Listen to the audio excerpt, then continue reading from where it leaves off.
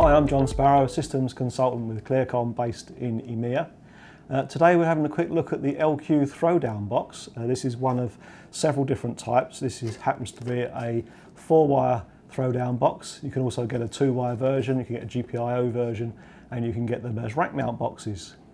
So typical applications for this box include IP linking uh, for traditional COM systems or maybe site-to-site -site work with up to six units over IP connected together. They're very good at working over the internet, which is quite a benefit. And one of the applications could be, for example, bringing back your various commentators from the Olympics to Central Point. You can also host our mobile clients, uh, Agent IC, uh, on smartphones and tablets, and you can also host Station IC on the new LQs. They can have SIP connections to IP telephony, which makes them connect to phone systems worldwide.